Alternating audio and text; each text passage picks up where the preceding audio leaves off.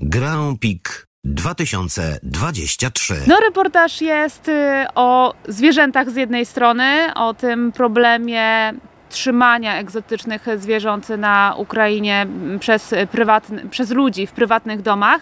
Z drugiej strony też myślę, że o ludziach, którzy się na tą pomoc decydowali, bo często też im zarzucano, że no teraz są najważniejsi ludzie, żeby im pomagać, żeby pomagać tym uchodźcom z Ukrainy, no ale oni stwierdzili, że skoro oni się znają na zwierzętach, no to kto jak nie oni pomogą tym e, dzikim zwierzętom. Często też narażali swoje życie, żeby transportować lwy czy tygrysy.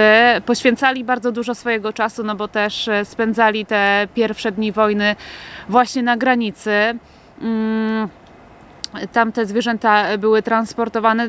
Cały czas musieli być w kontakcie z różnymi ludźmi, z weterynarzami, e, z, z, kimś, kto też porzucał jakieś swoje obowiązki, no bo tam poza tymi głównymi bohaterami, którzy pojawili się w reportażu, też mieliśmy przykład e, weterynarza, który i przypadkowo na przykład znajdował torbę z małymi lwami na lotnisku w Odessie e, i również starał się im pomóc też ryzykował swoje życie i zostawiał, bo y, to w ogóle ta historia tego weterynarza była taka, że on y, mm, on był już w takim wieku, że właściwie nie musiał walczyć, bo on był, jest Ukraińcem, ale y, starszym, więc właściwie był wyłączony z tego, ale ryzykował mimo wszystko swoje życie, bo chciał pomóc, pomóc tym zwierzętom. Mimo tego, że gdzieś tam miał rodzinę swoją na Ukrainie, no to brał udział w tym transporcie. Często bardzo mało spali, żeby te zwierzęta cały czas przewozić na Ukrainę.